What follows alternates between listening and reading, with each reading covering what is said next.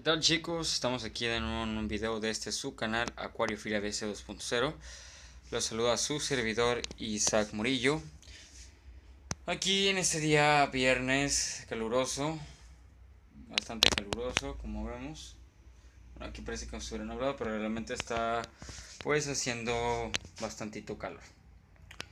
Eh, Como vemos todos los acuarios eh, van excelentes Excepción de los jacintos que pues como que el sonoro los vino muy bien, eh, que no tuvieran tanta luz y pues en este caso se secan. Lo único que de hecho sí ha sobrevivido bastante bien es la Salvinia natans y pues la lenteja de agua. Pero bueno, el video no va sobre esto. El video va sobre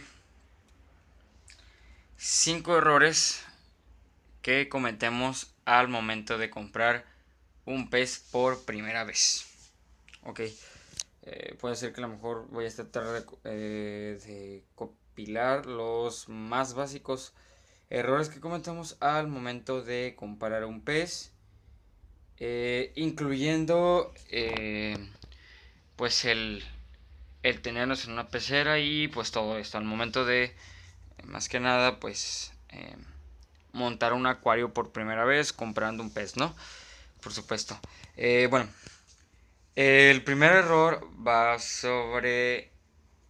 Compramos el pez sin antes haber eh, tenido una asesoría o en este caso eh, ya sea por algún amigo familiar o en nuestra tienda de confianza o la tienda a la que nosotros vayamos a acudir pidamos asesoría sobre cómo debemos tener pues un acuario o cómo debemos tener un pez en condiciones correctas, ¿no? Ese es el, error más clásico, eh, es el más común, es el que siempre, si, es, si no es que es el 70 o 80% de las veces, un poco menos a lo mejor, el error en el que cometemos el momento en el que nosotros compramos un pez por primera vez.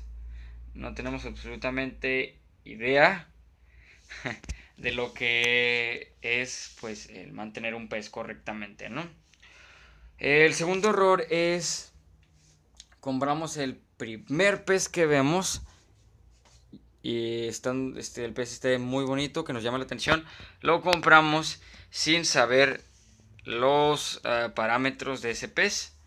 Es más o menos parecido al anterior, eh, pero es este nos dejamos guiar por el primer pez. A lo mejor es un pez que necesita unos, eh, unos cuidados un poco más, ah, por ejemplo, especiales que otros peces. Ya que a lo mejor debemos tener ciertos parámetros eh, muy específicos ah, y cosas como esta. Eh, la temperatura y todo. Bueno, es muy importante obviamente con todo. Simplemente es, nos dejamos guiar por el pez más bonito que veamos. Correcto. Ok. Eh, otro error, eh, tercer error que nos sucede, podemos hacer es ah, confiar completamente en lo que te dice eh, la persona que esté en la tienda de peces a la que tú vayas a acudir. Esto evito, no quiero crear polémica, por supuesto. Sé que hay tiendas que son completamente responsables pero pues la mayoría lamentablemente no te informa o simplemente venden por vender. Por lo cual eh, no debemos confiar completamente, es un error, confiar completamente en la persona y pues eh, va enlazado también precisamente con la primera, la cual es, ah, pues lamentablemente esto provoca muchos eh, conflictos, que los peces se nos mueran y pues todo esto, ¿no? Ok, vamos a...